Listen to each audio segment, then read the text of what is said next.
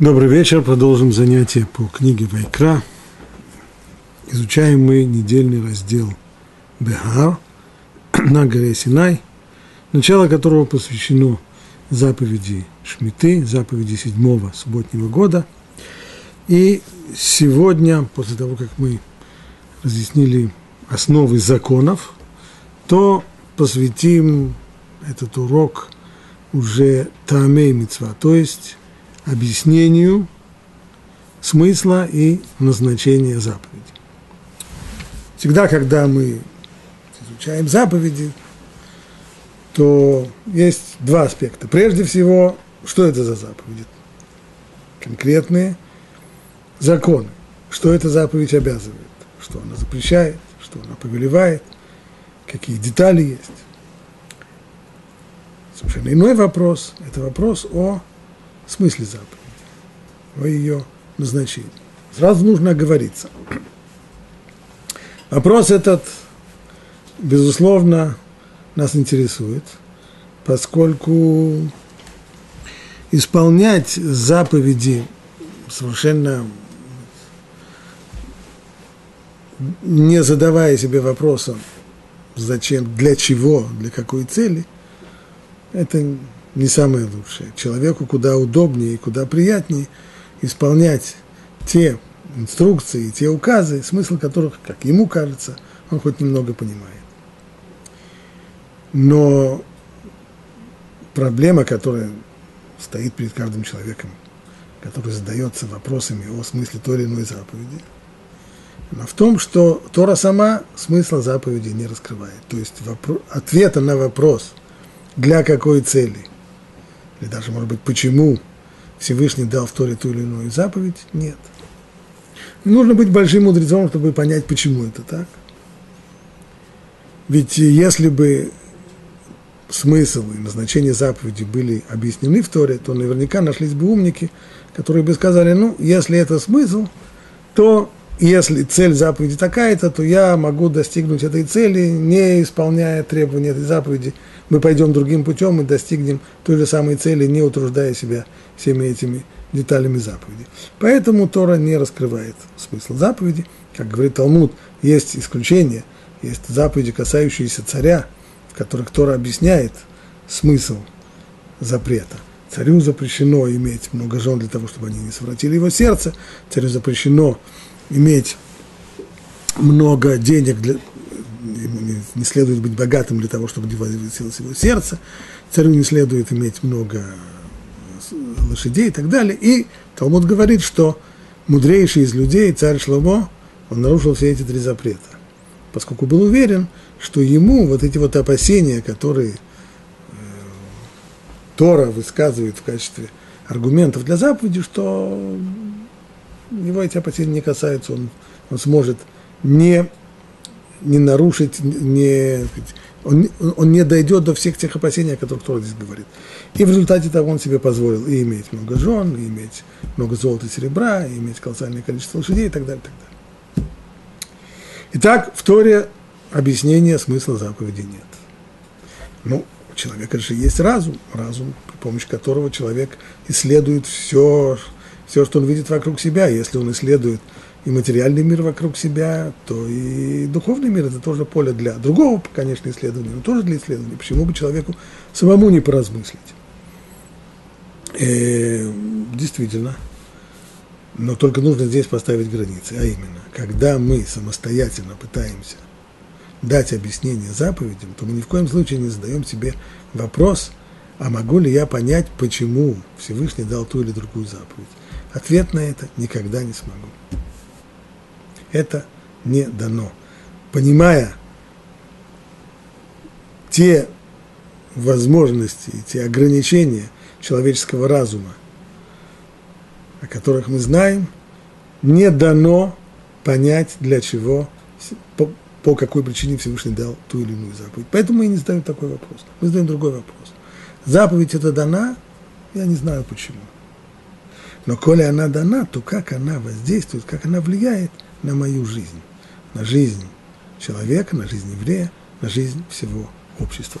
Вот какой вопрос мы сейчас задаем по поводу заповедей седьмого года.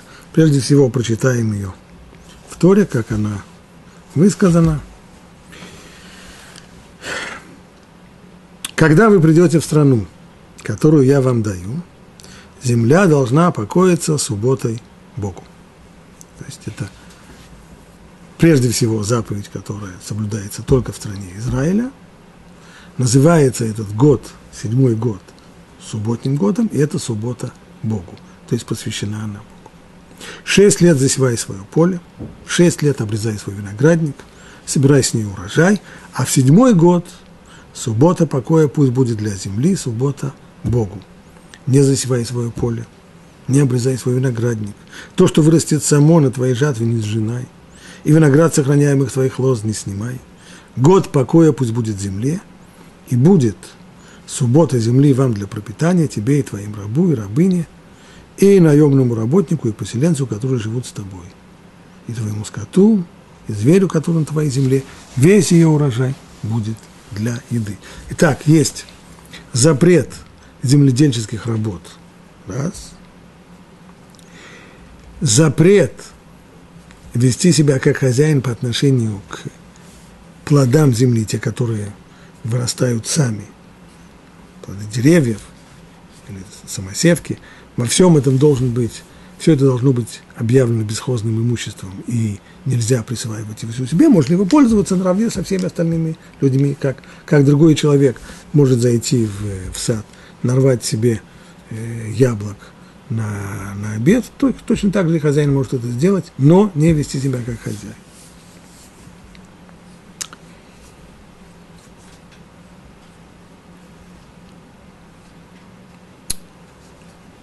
Итак, смысл.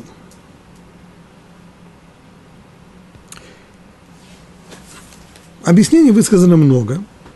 Почти все не приемлют объяснения, которые дает Рамбам Мурен Вухим. Рамбам Мурен Вухим говорит, что Тора здесь заботится о плодородии земли Израиля. Для того, чтобы не было хищнического использования земли, при котором она теряет свою, силу своего плодородия, поэтому Тора определила раз в семь лет – пусть земля остается под паром.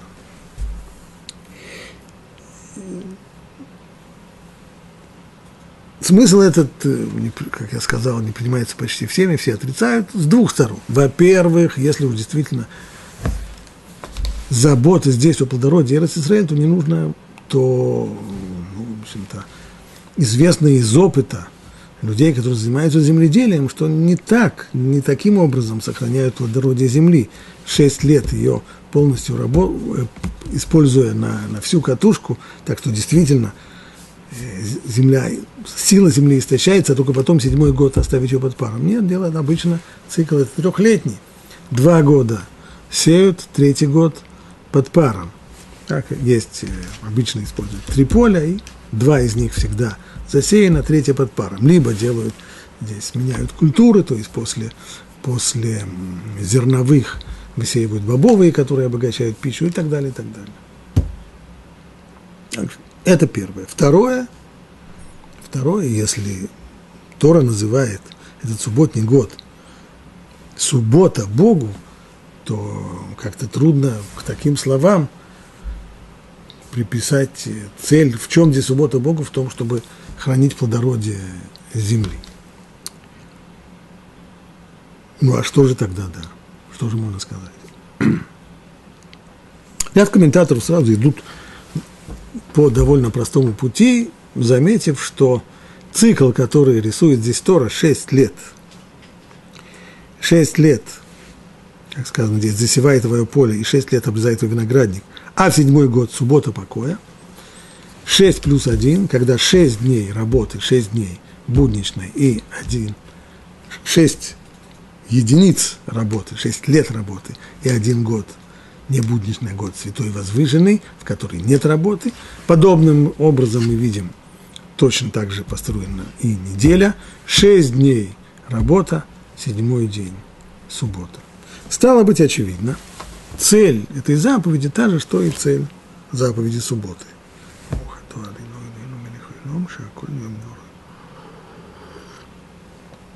Ну а какова цель заповеди субботы. Прежде всего, это необходимость внедрить в сознание человека мысль о том, что мир сотворен. Сознание Творца мира. Где проявилось? Если бы, нам понятно, что если бы творение не было бы актом целенаправленным и творческим, а возникновение Вселенной было бы результатом случайных процессов, то такие, такого рода случайные процессы, они идут никогда не останавливаясь.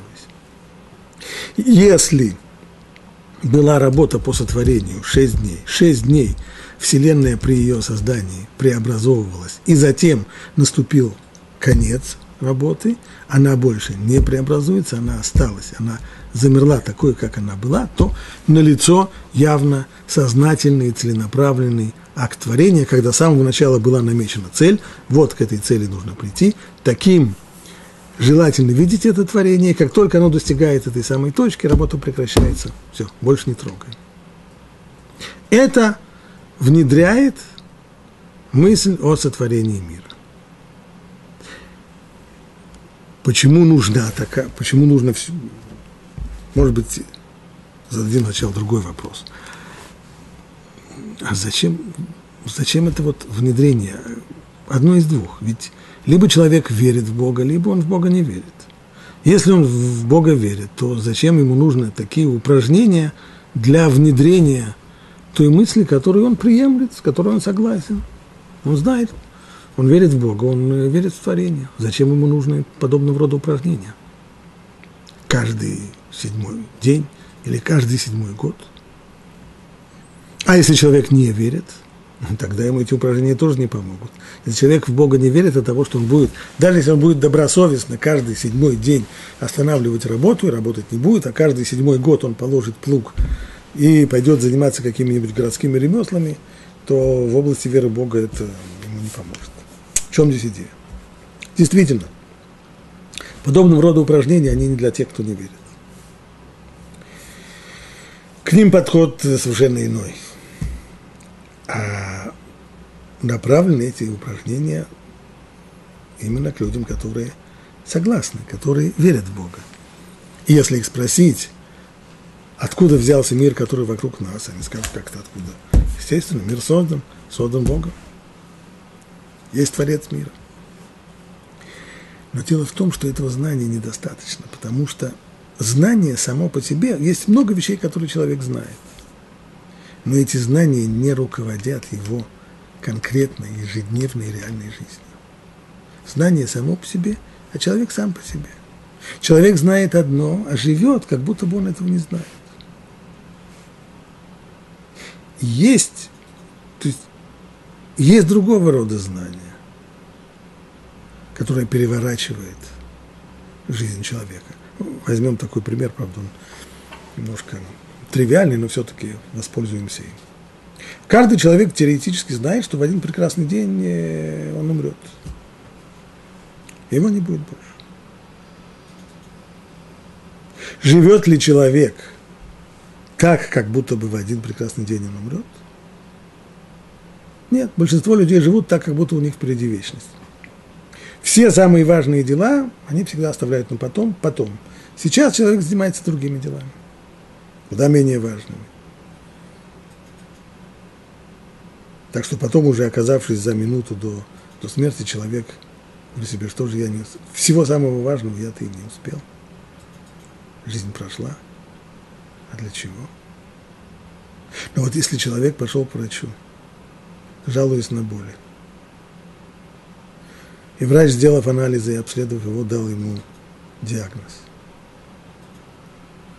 совершенно не сомневаюсь, что у него есть опухоль, ему максимум полгода жизни. Мы увидим, как жизнь такого человека изменится моментально. Все то, зачем он бегал раньше, он в глазах его обесценится. Другие вещи, которыми он пренебрегал, окажутся ему более важными. Что изменилось? Он узнал, что он умрет, а он и раньше знал, что он умрет. Разные знания бывают. Есть знания, которые только в голове, а есть знания, которые внедряются уже в сердце человека, охватывают все его существо. Так вот, то же самое можно сказать по поводу веры в Бога. Миллионы, сотни миллионов людей, а может быть даже и больше, если их спросить, верят ли они в Бога, скажут, да, конечно, мы в Бога верим. Да, да мы верим в сотворение, в создание. Но это знание холодное, которое вне человека, оно не руководит их ежедневной жизнью. Они живут, они верят в Бога, а живут так, как будто бы его нет. Поэтому для того, чтобы это знание внедрилось в душу человека, для того, чтобы оно захватило его, всю его личность, для этого и существуют вот эти вот постоянные упражнения, которые внедряют сознание из, которые внедряют понимание творения из разума человека, его сердца и во все уголки его личности. Поэтому шесть дней работаем, седьмой бросаем работу, останавливаем работу. Потому, почему? Потому что Бог сотворил мир шесть дней и на седьмой остановился. Поэтому шесть лет засеваем поле, а в седьмой год бросаем плуг и останавливаемся. Почему? По той же самой причине. Это свидетельство о сотворении мира. без вот такого вот постоянного, без постоянного такого упражнения, вера в Бога останется теоретической, холодной и не больше того. Так, так можно объяснить, и мы находим подобного рода мысли в достаточном количестве книг.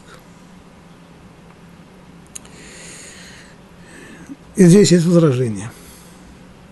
Ну, что касается заповеди субботы, это возражения нет, там очевидно. Там связь и желание постоянно напоминать нам о сотворении мира, она очевидна. Но по поводу седьмого года некоторые авторы высказывают сомнения. Не кажется ли это немножко повторение? Если заповеди субботы – в которой человек каждые шесть дней останавливает свою работу для того, чтобы засвидетельствовать о творении мира. Если этой заповеди не хватает для того, чтобы внедрить сознание о Творце и сотворении мира в нашу жизнь, то разве этому могут помочь еще упражнения, которые случаются раз в семь лет? Если заповедь субботы ее хватает вполне, то тогда субботний год, в этом плане он лишний, тогда, очевидно, его цели совсем другие. А если не хватает субботы, если, несмотря на то, что человек постоянно делает вот эти упражнения по внедрению мысли о творении каждый седьмой день, и этого не хватает, и он продолжает жизнь, как все остальные люди, которые верят в Бога и живут так, как будто бы его нет, то тогда чем поможет ему еще седьмой год?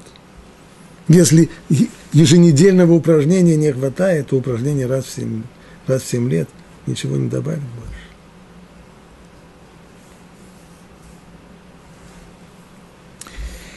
Поэтому многие комментаторы идут другими путями, прибавляют новые объяснения.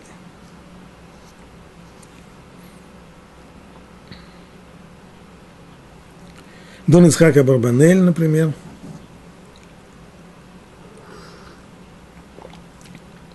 писал, что заповедь это направлена человеку – для того, чтобы не только для того, чтобы ему сказать о Творце мира, а для того, чтобы ему рассказать о нем самом. Что человек должен знать о себе самом? Ну, то, что годы его не бесконечны. Он живет, трудится, добывает хлеб насущный, заботится о своей семье, заботится о своих детях, нужно их женить, нужно их обеспечить. Время идет. И песочные часы жизни не останавливаются. Поэтому человек должен, задумываясь о семилетнем цикле земледельских работ, должен обратить внимание на то, что его жизнь, если мы только возьмем 10 лет за один, напоминает этот цикл. В общем и целом, такова простая биологическая правда. Жизнь человека – это в ее созидательном виде, в ее созидательной форме 7 десятилетий. Поэтому человек должен себе зарубить на носу. Шесть первых десятилетий тебе дано, можешь использовать их на то, чтобы трудиться в поте лица своего, обеспечивать материальную базу своей жизни, своей и своей семьи. Но седьмое десятилетие. Неужели же и седьмое десятилетие ты будешь продолжать делать то же самое? Вспомни, что жизнь коротка, что она заканчивается, и нужно подготовить себе духовный багаж для другой жизни. Поэтому в седьмое тысячелетие пришло время бросить плуг, бросить все заботы о хлебе насущном и заняться самим собой. Сделать то, что не успел сделать всю жизнь. Сделать то, что откладывал все время на протяжении всей жизни. Изучить то, что не успел изучить до сих пор изменить в себе то, что не успел изменить. Это то, что Тора хочет, чтобы мы обратили внимание, и вот этот вот цикл 6 плюс 1 перенесли бы не на сотворение мира, а на свою собственную жизнь, на самих себя. Так писала Барбанель. Другие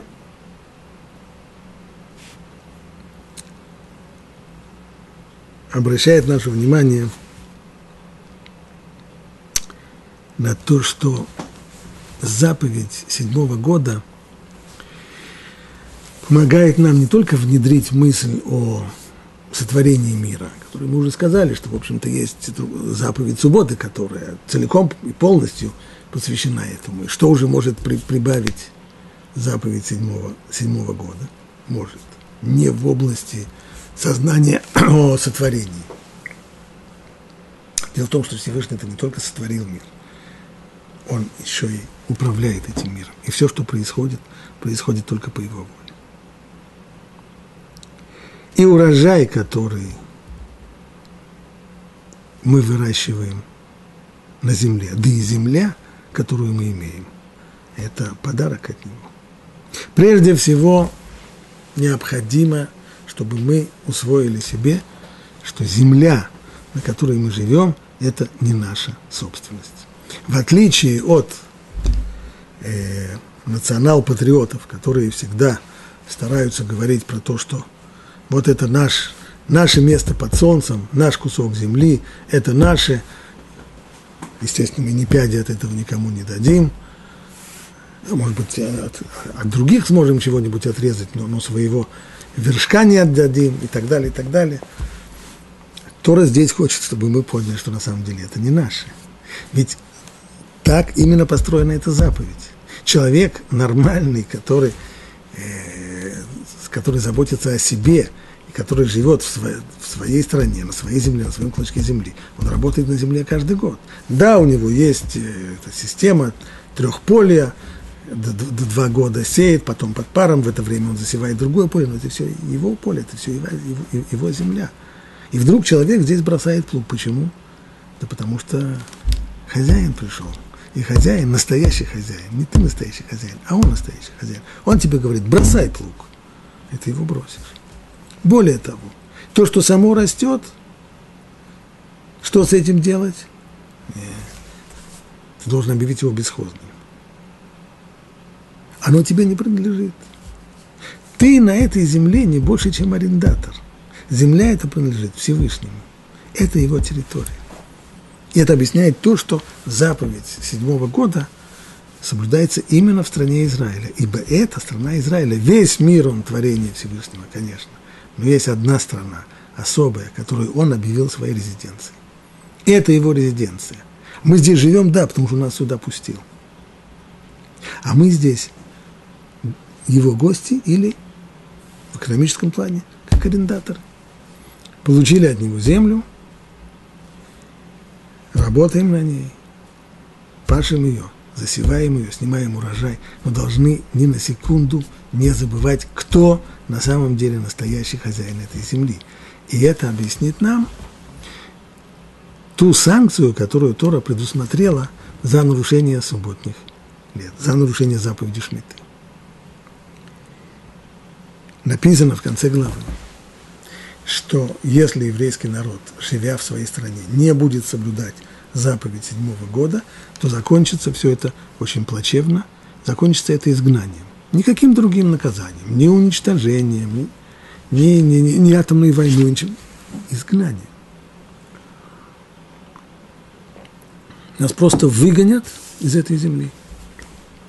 И придется находить себе место под солнцем где-нибудь в другом месте. На берегах Тигра, Ефрата, Гудзона, Невы и еще каких-нибудь рек но не здесь. В этом-то смысл. Либо вы живете в этой стране, помня, кто ее настоящий хозяин, либо, если вы возомните себе, что вы настоящий, что вы действительно хозяева этой земли, то вас быстро, нам быстро объяснят, кто здесь настоящий хозяин. Выгонят отсюда, и все. Вот что хочет Тора здесь этим упражнением. Чтобы всегда и везде, в любой ситуации еврей понял и помнил, кто настоящий хозяин этой земли. Он ее нам дал, и не только, что он дал нам эту землю, но и урожай ее зависит от его воли. Ведь когда человек чувствует себя хозяином земли и, плане ее плодородия он тоже понимает, что это зависит зависит прежде всего от него. Конечно, есть э, факторы погодные, есть солнце, нужно, чтобы было достаточно тепла, нужно, чтобы было достаточно дождя, что очень важно. Но в конечном итоге, если будет и солнце, и дождь, а я работать не буду, что же тогда будет? Само-то по себе не вырастет, все от меня зависит. И человек проникается этим ощущением того, что вот своими двумя руками он зарабатывает себе на кусок хлеба. И снова это осознание неверное.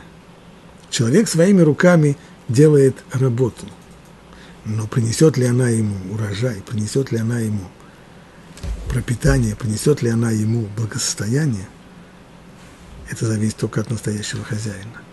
Человек только создает условия для того, чтобы была браха, для того, чтобы было благословение на, на труд его рук. Но если благословения нет, то ничего не поможет. И для того, чтобы внедрить это, для того, чтобы человек не погрязал в работе, для того, чтобы он чувствовал, что самое главное в его жизни – это работа, это постоянная, постоянная дума о том, как, как нужно работать на поле, как нужно добывать себе кусок хлеба. Для этого Тора и дала нам эту самую заповедь. Но я еще раз оговариваюсь. Я сказал, нехорошо, для этого Тора дала. Я не знаю, для чего Тора дала эту заповедь. Но влияние этой заповеди, оно очевидно в том, что человек проникается пониманием того, что и его урожай, и его благополучие на этой земле – это не плод, прежде всего, его труда. Его труд создает только необходимые но недостаточные условия. А для того, чтобы был кусок хлеба, для этого должна быть браха свыше от того, кто настоящий хозяин этой земли. И, наконец, говорят комментаторы, что, безусловно, здесь есть и очень серьезное упражнение в битахон, упование на Бога.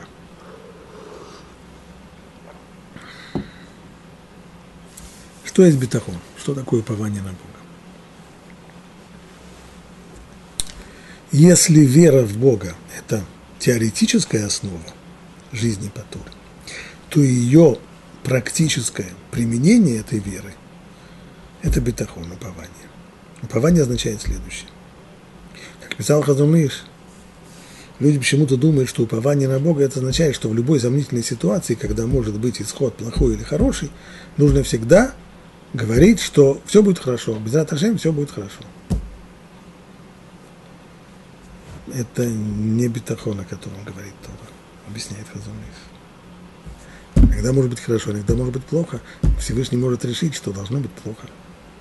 Бетахон – это понимание, что все зависит исключительно от решения Всевышнего. Все зависит исключительно от его воли. Как плохой исход, так и хороший исход. И то, и другое зависит только от него. Я могу только создавать условия для того, чтобы была браха или не было брахи. Но я не могу влиять на то, будет браха или нет. Я не могу влиять на то, будет благосостояние или нет. Это только воля Всевышнего. Для того, чтобы... Снова, большинство людей, если спросить их, как они себе представляют, как управляется жизнь человека, человечества, они согласятся со всем тем, что я сказал. Да, действительно, все зависит только от Всевышнего. Конечно, он полный хозяин. Но в реальной жизни живем не так. В реальной жизни живем по русской пословице «На Бога надейся, а сам не плашай». Это две разные вещи. На Бога надейся – это сказать, для разума, для, это для, для того, чтобы говорить об этом. И каждый раз, каждую фразу начинать, э, как начинающий болеть шува, обязательно в, в, в каждой фразе два раза говорят «с Божьей помощью», без ратажем. Вот это, а а реальная конкретная жизнь, она по принципу «а сам не плашай». Для того, чтобы реальная жизнь отражала веру в Бога, для того, чтобы построить реальную жизнь на ощущении о том, что все зависит только от Его воли, для этого Тора дает нам вот здесь такое упражнение. Шесть лет можешь засевать свое поле, все хорошо. Седьмой год не пахать и не сеять. Стоп. А чем кормиться? Как, э, как прожить? Не будем забывать, что заповедь эта была дана в далекой древности еще, когда не так, как сегодня, земледелием занимаются всего лишь от 6 до 3 процентов населения, а все остальные кормятся какими-то другими профессиями. Тогда все было наоборот. Тогда 94% людей занимались земледелием. А так на что же жить? И чем же кормиться? Ну, ответ простой. Бог позаботится. Точно так же, как Он позаботился о твоем э, появлении на свет, точно так же, как Он создал мир, то Он как-нибудь позаботится он дал тебе эту заповедь, он может как-нибудь позаботиться о том, чтобы ты выжил. Ну, а э, хорошо, чтобы я выжил, это понятно. Ну как? А где хлеб будем брать? Если не сеем, если не жнем. И вот прожить целый год, надеясь на то, что и понимая на то, что понимая то, что все зависит только от Всевышнего – и не зависит от того, буду я пахать или не буду я пахать. И если он захочет, чтобы мы просуществовали в этот год, то мы найдем чем прокормиться. Ну а если захочет, чтобы мы ноги протянули, все равно ничего не поможет. Это очень трудное испытание. Помню, много лет тому назад, это было в, в Шмиту, в седьмой год – я был в гостях у, у знакомых моей жены, которые живут э, в поселении, значительная часть жителей которого занимается сельским хозяйством. Перед Шмитой у них было много споров, соблюдать ли заповедь Шмиты так, как этого требует Тора, или пытаться обойти эту заповедь при помощи э, полагаясь на разрешение о продаже земли, которая, которая в принципе, существует, когда э, государственный равенат Израиля продает землю Эрец Израиль не еврею, и тогда получается, что тот, кто работает на этой земле, он работает уже не на земле еврейской. Святость земли тем должна выхолащиваться, и это все равно как обрабатывать землю где-нибудь в предместьях Парижа у этого разрешения есть масса-масса логических проблем. С большим трудом можно сказать, что оно действует. И поэтому люди по-настоящему богобоязненные и не затронутые идеологическими какими-то отклонениями, они стараются не полагаться на это разрешение и соблюдать шмиту, как она есть, со всеми ее законами. Ну, люди, которые живут в городах и гордо говорят, что они не полагаются на это разрешение, и они, ну, это им, честно говоря, не так уж трудно. Но людям, которые живут от сахи, которые живут земледелием, то это колоссальное испытание. И вот, когда я приехал туда, мне рассказали, что перед наступлением субботнего года, перед Шмитой, на общем собрании было решено, делаем усилия, будем соблюдать Шмиту, как она есть. Постарались засеять до наступления. Ну, Рошишана, до Рошишана засеяли, засеяли хлопок, засеяли озимую пшеницу и решили, что целый год работать на поле не будут. Где-то в Хишване, когда уже пошли уже дожди, и то, что посеяли, взошло, налетела саранча, и все, что посеяли, и взошло к тому времени, сожрало с какие-то два дня. То есть весь заработок, весь урожай всего года и весь заработок ушел за два дня прожорливое брюхо саранчи. И что теперь делать? Люди пожалели, огорчены были. И очень многие из них, многие из жителей этого поселения на следующей неделе вышли на работу и снова распахали поле, и снова его засеяли. Не выдержали испытания, потому что тяжелое испытание. Потому что уровень бетахон, уровень упования на Бога, который здесь необходим, он очень высок. Не случайно говорит Талмуд, что людей, которые соблюдают, в состоянии соблюдать законы Шмиты и устоять в этом самом испытании, называют богатырями. Вот это настоящий богатырь. Гибурей Коах.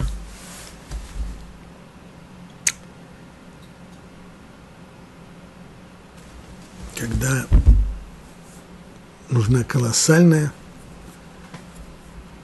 совершенно власть над собой, колоссальная сила воли и колоссальное упование на Всевышнего для того, чтобы это испытание выдержать. Есть еще одно объяснение.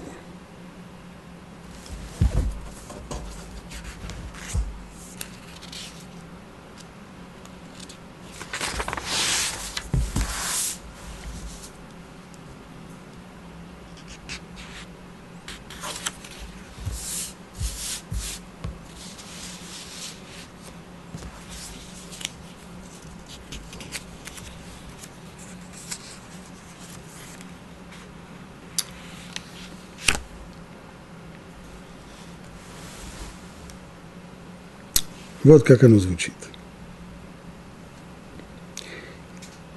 Автор его – это Сефер Хенух, книга, которая посвящена как раз изучению смысла заповедей. Он отдельно останавливается на одном из аспекте законов Шмиты, а именно на обязанности объявить все, что выросло в этот год бесхозным. По той же причине, пишет Хинух, в этот год мы не имеем права присваивать себе то, что выросло на земле, а должны отказаться от права собственности на урожай. Всевышний повелел нам это, чтобы мы поняли, земля дает урожай не сама по себе. Это все мы уже говорили.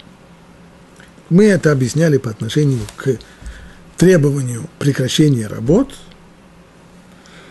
А хинух пишет, что по той же самой причине, та же самая, то же самое объяснение у другого закона, а именно к необходимости, к требованию объявить весь урожай, все, что растет само бесхозно. То, что каждый год из земли вырастают плоды, это не проявление особой способности земли. То есть у земли есть такое качество, в результате которого растут плоды. Это не так. А как же так? А весь мир думает, что это именно и так и оно и есть. Это не совсем так. У земли есть хозяин. Человек, который... Это поле записано на него. Но над ним есть настоящий хозяин. И именно он велит земле вырасти для нас урожай. Ведь, иными словами, то, что мы называем законами природы, по сути дела, внутренний смысл – это воля Всевышнего, которая заложена здесь, которая проявляется постоянно. Воля Всевышнего на то, чтобы, когда мы посадили зернышко в землю, чтобы оно проросло. Из него выросло растение, и у этого растения были плоды – но это не собственное качество земли. Это только воля Всевышнего, которая реализуется вот в, таком постоянно, в такой постоянно, постоянной э, причинно-следственной связи. Значит, он может, если только захочет, потребовать от нас отказа от собственности на него. Чей урожай? Мой? Нет. Урожай того, кто дал этот урожай. Стало быть, если он требует откажись от него, поделись этим урожаем со всеми остальными, то надо выполнить его требования. Но это еще не все. И вот здесь вот новый смысл. И новая цель у этой заповеди. Новое влияние заповеди на человека. Исполняющий эту заповедь приучается, кроме всего этого, все больше полагаться на Бога, если уж человек в состоянии найти в своем сердце решимость навсегда отдать кому-то урожай от своих полей целый год – и если он сам и вся его семья поступает так всю жизнь, этот человек никогда не поддастся жадности и никогда не потеряет уверенности в Бога. Об уверенности в Бога мы уже говорили, но здесь Хинук говорит еще одно, еще одно, а именно жадность. Это заповедь, оружие, серьезное оружие против человеческой жадности. Хочешь приучить себя к, не к расточительности, а хочешь при, при, отучиться от жадности, от желания все, что только возможно, присваивать себе, вот тебе раз в 7 лет колоссальное, колоссальное, великолепное упражнение. То деревья, которые ты насадил, которые ты полил их и поливал их водой и собственным потом, и ты их обрезал, и ты их огораживал, и ты их удобрял, и ты их опрыскивал, и ты их... И вот они дают тебе свой урожай, не тебе – Поделись с ним. Можешь есть этот урожай, да, но не забирай его себе. Все остальные тоже могут есть. Вот это вот лекарство против человеческой жадности. И, наконец, последнее объяснение. До сих пор мы говорили об объяснениях, в общем-то, которые лежат на поверхности. А вот сейчас мы немножечко зайдем вглубь. И это объяснение, которое дает автор Сфатемет. О создании человека сказано, «Вайках Ашем Элуким это Адам, Ваянихеу Беганеден Веавда Белешамра». И взял Бог человека и поместил его в Эденский сад для того, чтобы обрабатывать его и охранять его. И посук этот очень странный. А Эденский сад нужно было обрабатывать. Всевышний засадил его со всякими деревьями. А что Адам должен был окучивать, поливать, удобрять, сорняки полоть, опрыскивать, гусениц уничтожать. Это то, чем он должен был заниматься в Эденском саду. А, а что в конце написано? Велешамра – и охранять его. От кого охранять? Он же должен был с дробовиком обходить его по периметру и смотреть, чтобы никто не крал, не, не крал яблок из этого сада. А кто мог красть? Он был единственным человеком, который был на земле. От кого надо было его охранять? Поэтому в книге Зор сказано Леавда бепикудин де асе, улишамра бепикудин де лоса де Обрабатывать имеется в виду заповедями повелительными. Охранять имеется в виду заповеди запрещающие. То есть исполняя повелительные заповеди, человек создает нечто новое. Подобно тому, как человек, который обрабатывает землю, он приводит к тому, что созревает урожай. Каждая заповедь, исполняемая человеком, она создает некоторый новый, новую духовную реальность.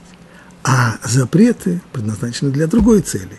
Это шмира, это именно охрана, для того, чтобы не испортилось. Для того, чтобы не было здесь порчи. И вот именно об этом сказано здесь. Человек помещен был в Эденский сад не для того, чтобы работать, не для того, чтобы его, не для того, чтобы его пропалывать, для того, чтобы его удобрять, поливать и так далее. Вообще он жил там на всем готовом, как говорит Мидраш. Ангелы жарили ему мясо, процеживали ему вино, ну, полный пансион. Стало быть, но это не значит, что он был помещен туда, как человек, который едет на отдых на полный пансион, чтобы отдыхать. И, безусловно, человек был рожден для труда, но для труда духовного. Для познания, для совершения заповедей повелительных и для соблюдения запретов. Он должен был своей этой духовной работой довести творение до конечной точки. Но случилось то, что случилось. Адам согрешил, съел запретный плод и был изгнан из Эденского сада.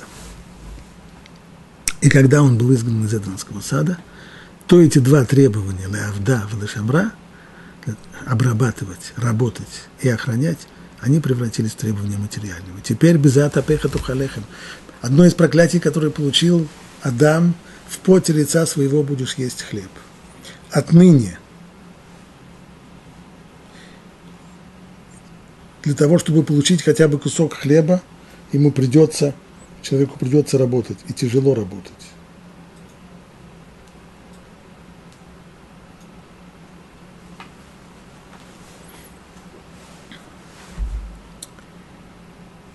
Придется пахать, придется сеять, придется снимать урожай, придется охранять и от разбойников, и от бандитов, и от зверей. Все это теперь носит совершенно другой характер. То есть работа человека по, для того, чтобы найти себе кусок хлеба, для того, чтобы добыть себе пропитание, это результат проклятия, результат первого греха человека. Но вместе с тем – даже будучи изгнанным из Эденского сада, даже потеряв свое первоначальное вот это вот состояние, в котором работа духовная заменилась у человека на работу материальную, при всем при том человек не потерял той самой высоты изначальной, которая у него была. В жизни его время от времени к этому возвращает. То есть человек даже – он изгнан из Эденского сада. Но идеал Эденского сада, из которого его изгнали, и в который он должен возвратиться, он должен быть у человека перед глазами. Что напоминает ему об этом идеале? Та же самая суббота, суббота, в которую человек прекращает всю свою работу, и седьмой год. Седьмой год, Шмита – которую человек бросает плуг, в которую человек... А чем будет заниматься человек на протяжении всего года, если он не, не сеет, не пашет и не сеет, и не снимает урожай? Духовная работа. Учиться. Постигать. Сосредоточиться на исполнении заповедей. Вот что будет наполнять его жизнь седьмой год.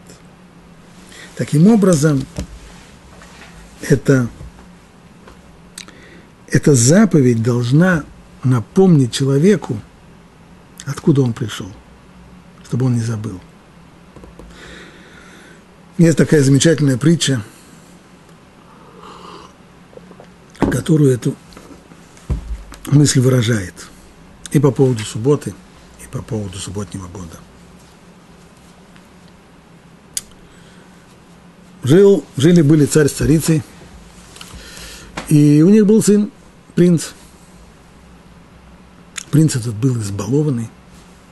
Настолько избалованный, что он питался только той пищей, которая, которую готовила его царица-мать. И, и не всей пищей, и не все, что творила его царица-мать, он готов был есть, а ел он только пироги. Пироги, которые пекла ее величество царица. Королева лучше, скажем так, чем царица. И вот как-то вся королевская семья отправилась на прогулку. В лесу принц отошел от, э, от всех,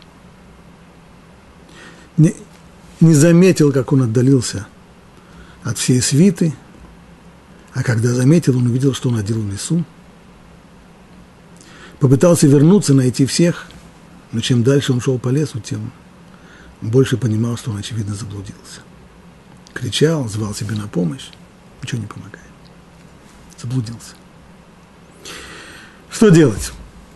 На ночь он остался ночевать в лесу, было страшно, было холодно, выхода не было. Утром он попытался продолжить свой путь, шел по лесу, шел долго, изорвал всю свою одежду, в которой он ходил в королевском дворце, измазался – ссадины, царапины, рваная одежда. В таком виде он наконец-то вышел на опушку.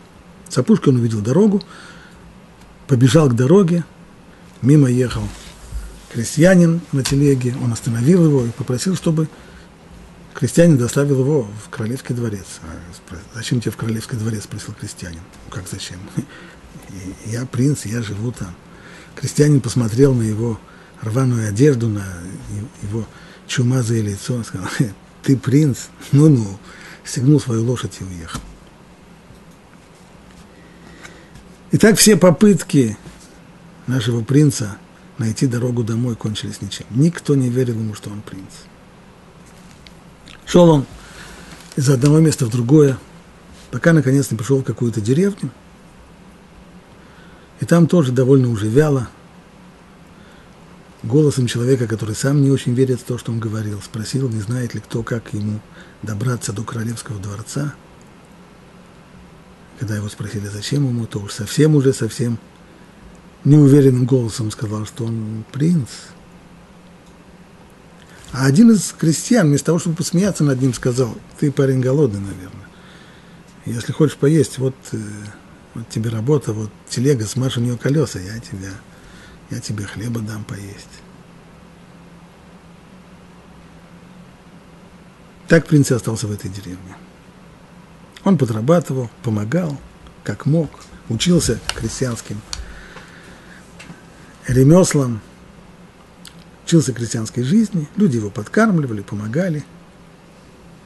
В конечном итоге он и сам как-то уже стал устраиваться.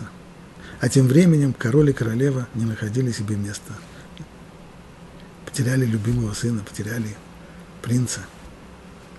Но не знали, как его искать. Просто так объезжать и всюду высматривать принца, ведь, ведь может быть, он, попади, зная в лесу, он, может быть, э, упал головой или стукнулся обо что-нибудь, может, ему вообще память-то отшибла, может быть, он уже даже и не помнит, что он принц. Как же быть? Как его искать? Много времени уже прошло – и все поиски ни к чему не провели. И тогда один из советников короля подал ему следующую идею. Ведь принц был настолько избалованным, что он ел только пироги, которые пекла ее величество. Так вот я и предлагаю обойти, объехать всю страну и заставить каждого из ее жителей отведать королевских пирогов – Потому что я надеюсь, что когда парень съест этого пирога, то вкус этого пирога напомнит ему, кто он и что.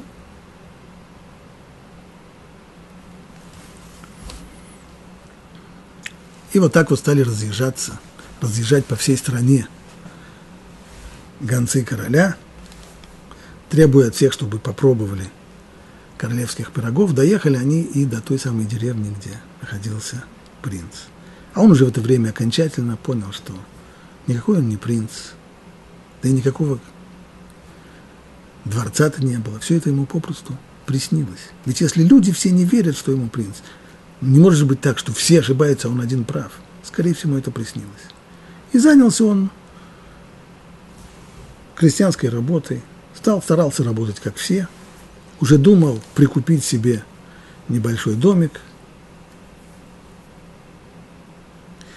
И вот приезжают гонцы, трубач трубит, Герольд объявляет, что именем короля все обязаны попробовать королевских пирогов. Ну, люди пошли на площадь, стали в очередь, каждый получал кусок пирога, а наш с вами принц, он э, уже серьезный парень, он уже занят, ему уже нет времени на такие глупости.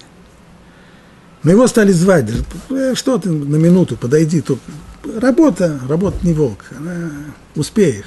А так, кусок пирога на халяву уже, почему же нет? Послушался их принц, встал в очередь, как все, получил кусок пирога, откусил, стал жевать. И вдруг стал чувствовать, что этот вкус, он откуда-то, он ему знаком. Но не может вспомнить, почему, что. Когда вдруг, наконец, он понял, не понял, а ощутил. И тогда он закричал, я принц, увезите меня отсюда. Царским послам только этого и надо было, схватили его за руки в карету и скорее во дворец. Так суббота и субботний год напоминают человеку, кто он и что он. Напоминают, откуда он ушел. Напоминают, что не вся его жизнь – это поле, не вся его жизнь – навоз, который нужно вывозить на поле, не вся его жизнь – постоянная – гонка за куском хлеба, за заработком. Не, вся его, не всю жизнь ему крутиться, как белка в колесе за кусок хлеба. Он ушел из Эденского сада. И туда он должен вернуться. И чтобы не забыть, откуда он ушел, для этого есть вот этот самый пирог. Это суббота с ее вкусом, и это седьмой год, которые напоминают нам, какая на самом деле работа для нас предназначена, для чего Всевышний поместил нас – Беденский сад для того, чтобы была Авда, была Шамра, для того, чтобы обрабатывать, или для того, чтобы ее охранять. Заповедями Асе, заповедями Лота Асе. Это настоящее призвание человека, и об этом идеале, к которому мы обязательно должны вернуться, о нем он никогда не должен забывать.